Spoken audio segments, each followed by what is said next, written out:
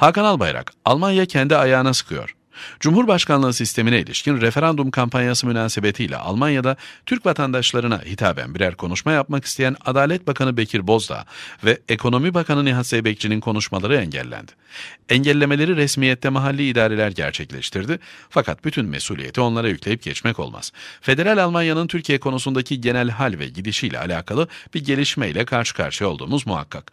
Avrupa Birliği'ndeki derin çatlaklar ve Amerika Birleşik Devletleri'nin Avrupa ile zıtlaşma temayülü Almanya'yı orta ve uzun vadedeki belirsizliklere karşı alacağı tedbirleri belirlerken ister istemez içli dışlı olduğu Türkiye gibi mühim bir ülkeyle iyi münasebetlerini korumaya ve alabildiğine geliştirmeyi de stratejik bir hedef olarak önüne koymaya sevk etmeliydi. Alman devlet aklından bu beklenirdi. Ne var ki bunun tam tersini yapıyor Almanya. PKK ve FETÖ'yü kolluyor, Türkiye'ye onlarla beraber cephe aldığı intibaını uyandırıyor. Türkiye ile kopuş sinyalleri veriyor adeta. Almanya Welt gazetesi muhabiri Deniz Yücel'in Türkiye'de terör bağlantısı şüphesiyle tutuklanmasını makul karşılamak mecburiyetinde değil.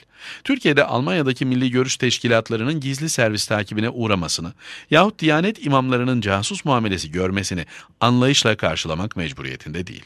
Ama birbirine köklü bağlarla bağlı olan, karşılıklı bağımlılık diyebileceğimiz bir ilişki içinde bulunan Türkiye ve Almanya bu gibi meseleler karşısında aklı selimi korumaya mecbur.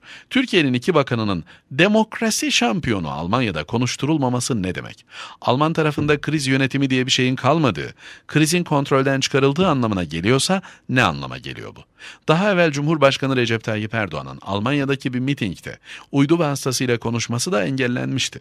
Türkiye ile münasebetleri zehirlemekle kalmayan, Almanya'yı kendi içinde de krize sürükleme istidadı gösteren bir tavır bu.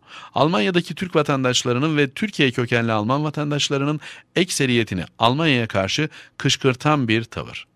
Erdoğan'ı ve AK Partili siyasetçileri sık sık Türkiye'deki kutuplaşmaya Almanya'ya taşımamaları konusunda uyaran Alman makamları konuya bir de bu zaviyeden baksalar iyi ederler. Hakan Albayrak, Karar